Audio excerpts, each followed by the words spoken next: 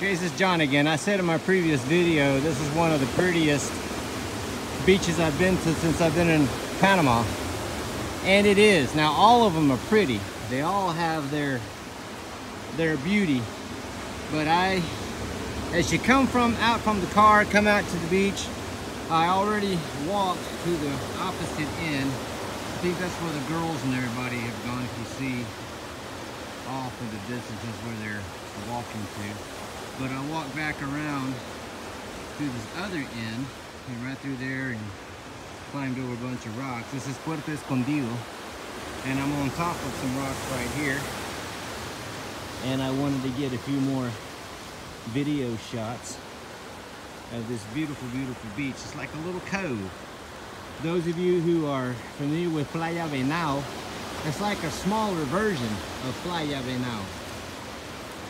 Okay? It's not quite as big as Playa Venao. Uh, but yeah, there are a lot of bathers out here, a lot of, uh, well, I want to say a lot. There's a, a number of other visitors out here on this beach. Very, very pretty. Come up on this rock. And this is me. And uh, you see him up on this rock and on this little uh, rocky area of the coast, the beach. And the, uh, the waves crashing up against the rocks as they come in is pretty neat. Pretty neat. Pretty neat.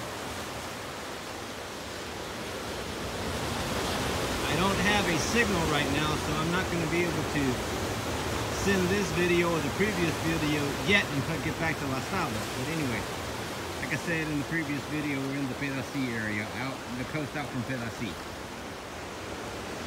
Very, very, I'm kind of hot, but it's a very, very enjoyable, enjoyable place to be. Very enjoyable.